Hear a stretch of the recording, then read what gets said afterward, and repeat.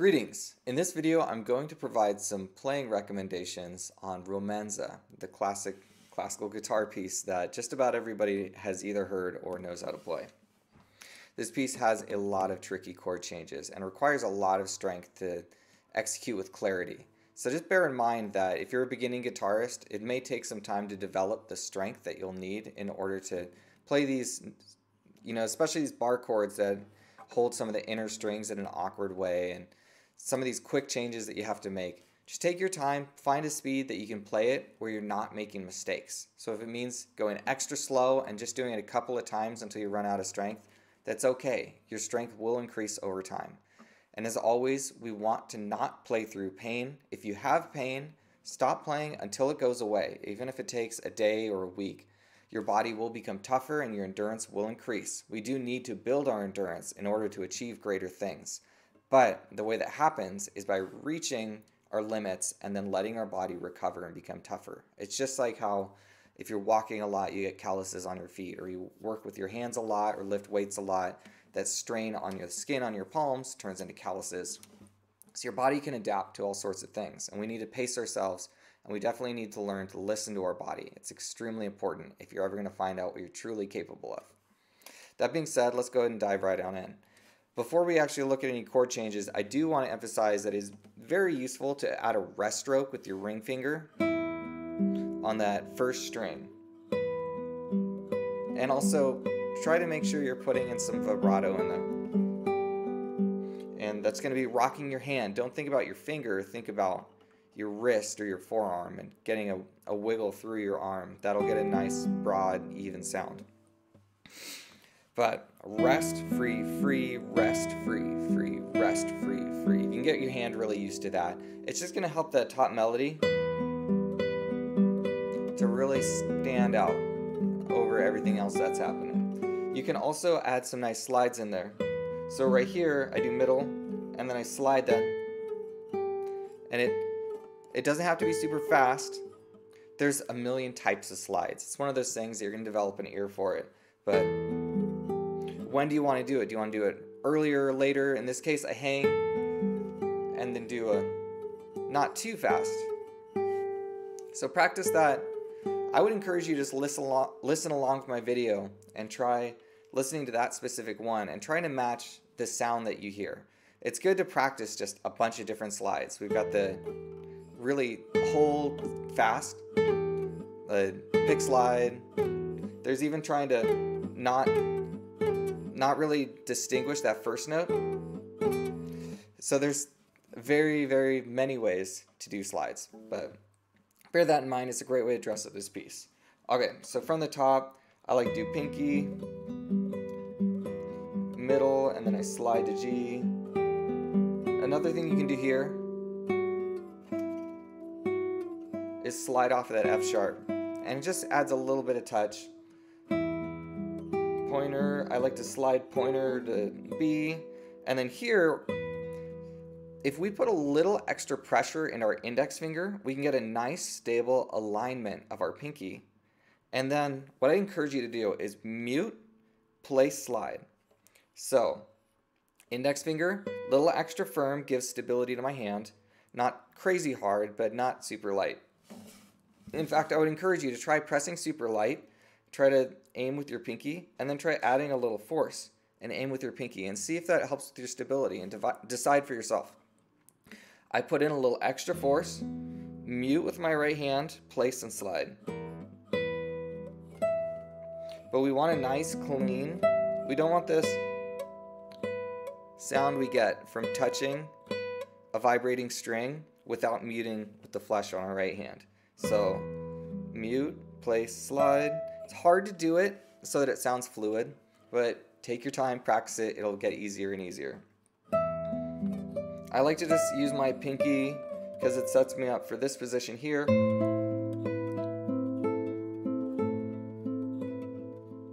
Here, I would just put a little extra force in that ring finger. It helps to guide that pinky into where he goes. A little extra tension, pinky is good. Now while we're here, we can align this middle finger. This one's sneaky because this third string is fat and that middle finger just doesn't want to grab that string as well. And the best thing you can do is align it nice and low and close. When I say low, I'm thinking really close to the B string. And then I'm going to press firmly with my middle finger. If I do it confidently, I'm much, much more consistent with really grabbing that string.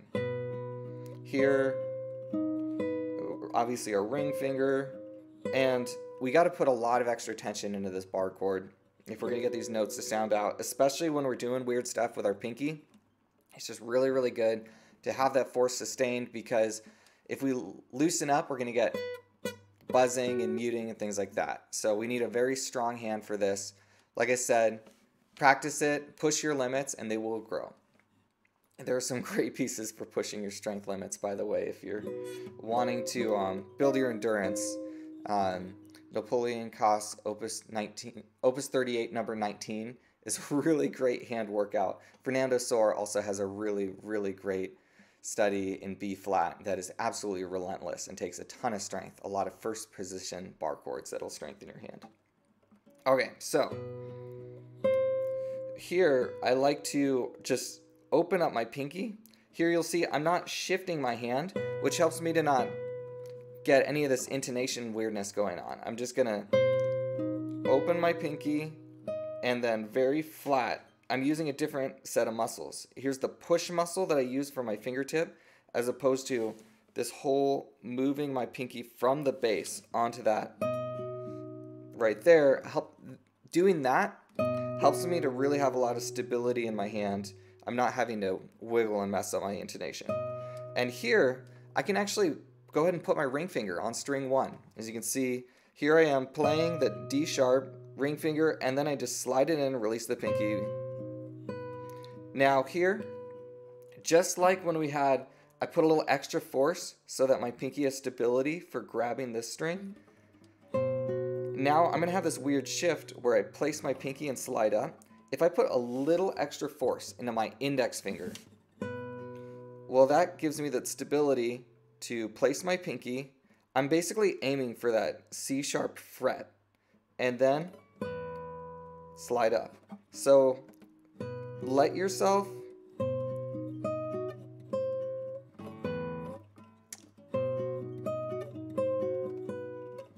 there it is. What I would let yourself do is just hold this and place on that C sharp fret. And once your hand is really used to that, you're doing exactly that and then slide. It's not slide and place. You're gonna mute and so here I mute, place, slide, hit. And we do it so quickly that the ear doesn't really hear a gap in the sound. There's a certain amount of time that it, of silence that the ear needs in order to really pick up on that gap in the playing. And that's how we cover some of these tricky chord changes. Extra force in the index finger, place, mute, slide. And it's going to look like this.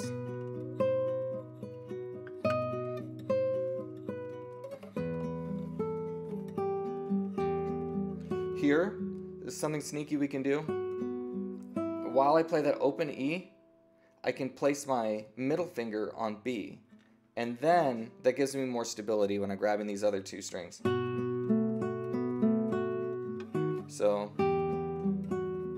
anticipate and place the other two. Here, I would encourage you to really think about moving that pinky separately. Just move the pinky. It's not a hand movement, it's not a turn, it's not, you know, something like this. It's just my pinky moving sideways. I would try just this movement, see if you can isolate it. Here, we don't want to mess up our intonation on the other notes, so try to really develop some independence. One thing you can do, instead of just E and E at the same time, you can split them. But I would try to have you arrive on the beat on that high E.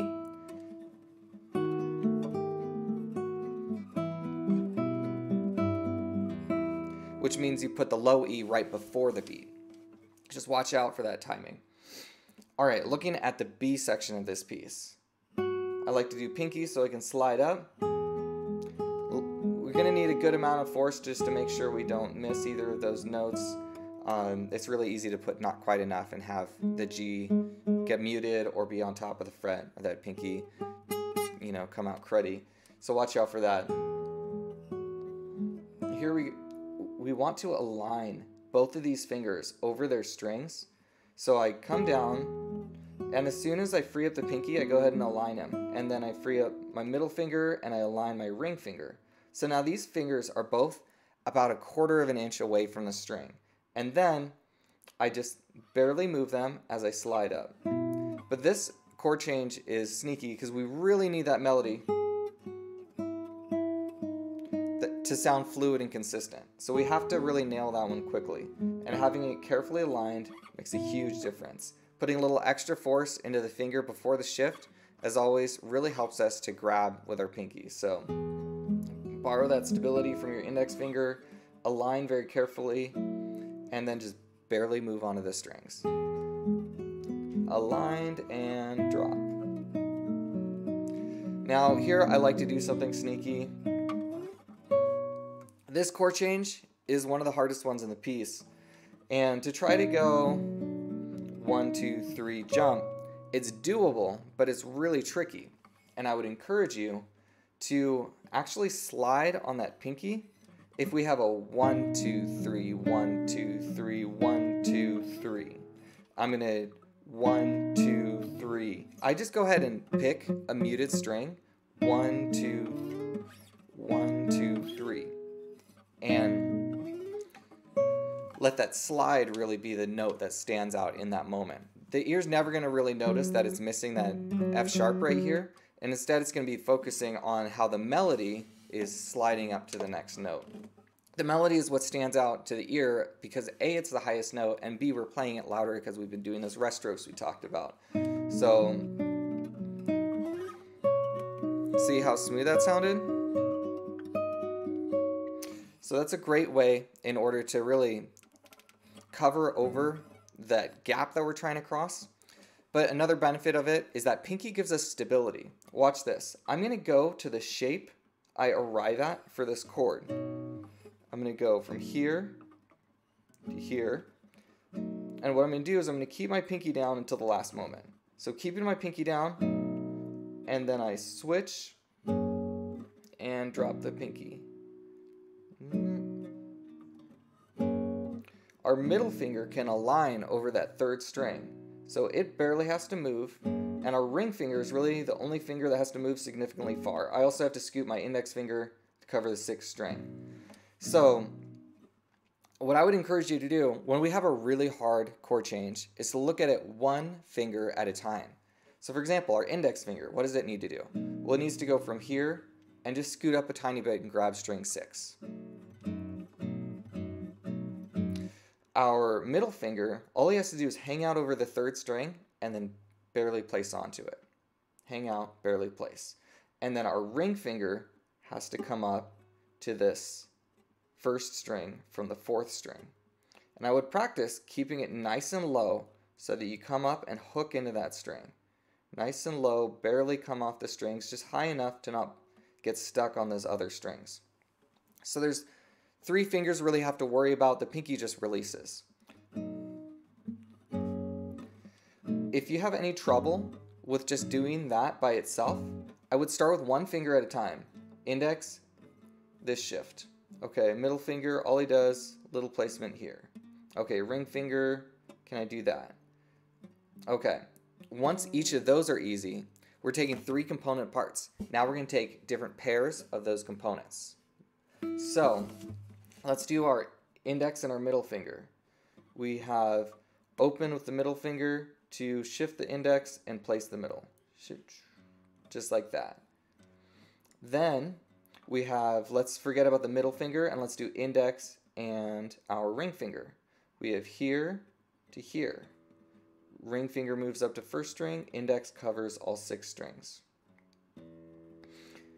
And then the only other configuration we have left is dealing with the middle finger and the ring finger. So we have middle finger hovering, ring finger on the fourth string, and then we just place the middle and bring up the ring finger. Once you've done that and then sleep on it, it's going to be a lot easier to put all three together. So I have my B7 chord, and then what's gonna be a B7 chord with a C sharp in the melody. Just nice small movements. And mm. here we've taken the chord change and we're just doing it in place. once that's easy for you, then try doing it up a step and adding a little bit of a shift. And once you can do that very consistently, all right, let's take it a couple of frets, a couple more, and so on. And you could even take it further if you want to be really pushing your skill level to the max. So that'll help you to conquer the shift. But another thing that we can do in order to make that even easier, if I keep my pinky down, that actually adds some stability and makes it a lot easier for that ring finger to grab the right spot. And here's what we're doing when we slide on our pinky. We're keeping it so firm into the fretboard that I'm actually aligning as I slide up and boom. At the last moment, I'm just lifting up this pinky. So here, I'm gonna leave my pinky down and here it's buzzing on the string because it's in a really awkward spot. But you can see if we keep our pinky down, it can add an extra degree of stability. And I can use it to have something to anchor my hand and align these fingers that have to kind of move against each other. And I arrive, boom, just like that. So with all that combined, we can one, two, three, one, two, three, one, two, three, one, two, three. And it's a great way to smooth out that chord change. That was a ton of different tools. That's, these are all different tools that we use as classical guitarists to conquer tricky chord changes. And I would encourage you to apply these tools to every chord change that trips you up. And you're going to see it's going to raise your skill level very quickly. So put it into practice. And here we are. So we're at this B chord. See, sometimes people call this a B9. It's not. It's just a B7 chord with a C sharp in the melody. In fact, it's just a B chord. There's no seventh being played right now. So we've got a B7. I would say we're still playing a B7 just because it's kind of what's happening contextually. B7, still a B chord, and then we have a C sharp in the melody because the melody is doing its own thing. If you were to have two different guitarists, you'd have someone playing a B7 chord while someone else is playing the melody. So they're not playing a B9, they're playing a B7. So this is a B7, this is a B, but in the context it's a B7. We have our C sharp in the melody here. I like to just flat finger this guy because trying to use my fingertip on this note, it just isn't very safe. Here, this part's a little interesting. We barely have to move. So for example, my middle finger just slides up one tiny fret. My middle finger, I'm sorry, my ring finger is on the first string and it's going to barely move on to the second string. And this is something you might need to isolate. Just try moving that ring finger over one tiny string and then try doing that with the middle finger. A little tiny movement. Keep it really small. If you do that, then what happens is here, I'm to put a little pressure in my ring finger so I can align my pinky nice and close. Boom. And it's just a tiny movement to go from here, here my pinky's ready, to here. Here, here. So see if you can just keep tiny movements. If there's something that's jumping out or doing something big and weird, that's what's going to be causing you to miss this chord. We need to really buff out the extra movements and keep it all very small.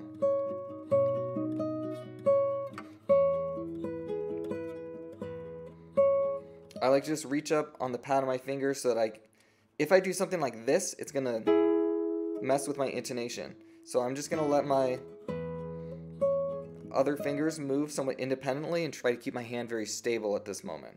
So hands not moving, I'm just reaching up with my pinky. I stay on my pad, slide them up. I know we generally want to use our fingertips, but that's a really dangerous spot to try to get onto our fingertip. So we're just going to do the safe thing, use our pad of our pinky, and then move back on our fingertips.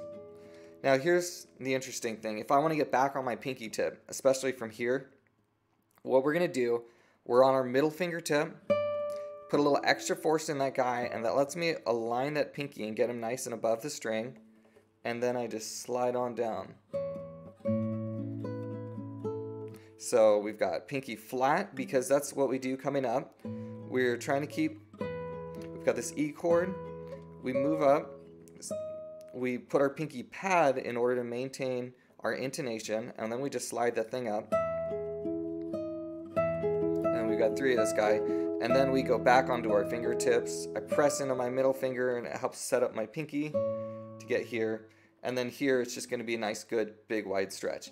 There are a couple of options. If your hand won't stretch that far, I would encourage you to stretch your hand and get used to it. We want to be able to not press and stretch because doing that really messes up our intonation. We need to be able to open up our hand. And one of the best things you can do is just really wide scales. But if you are adamant about not doing this angle, another thing you can do, you can tilt onto the side of your hand like this and get a lot more reach on your pinky. Another thing you can do is you can come out and use the pads. And it's a little bit easier to get a nice wide stretch than it is with your fingers curled. I like to use my index finger flatter like it's a mini bar chord and then that gives me a little bit more reach with my pinky. That's another technique you can utilize. So coming down, I'm going to put extra pressure in my, well I guess I should start flat on pinky. Flat on pinky, tip, extra pressure on the middle which lets me get onto my tip. In here I'm going to align both of these fingers. I'm not going to pull them here they're nice and close together, but all I have to do is just align them to the string, and then when I shift, they're going to naturally pull close together. So don't worry about them being in the exact position they're going to be in. Just align them to where they're going to grab that string cleanly. Align, grab. Nice and firm because these guys really want to buzz. I can align my middle finger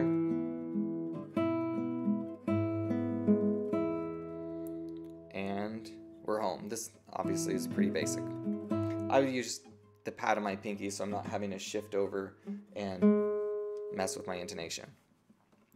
So those are all sorts of suggestions on how you can conquer these chord changes. If you have any doubts about what I was doing, I would encourage you to watch my video and see what you think of how it sounds. That's how I approach it. That's how I approach all of these chord changes, and it works well for me, I think. I like how my recording sounds, but you're free to have your own opinion if you differ.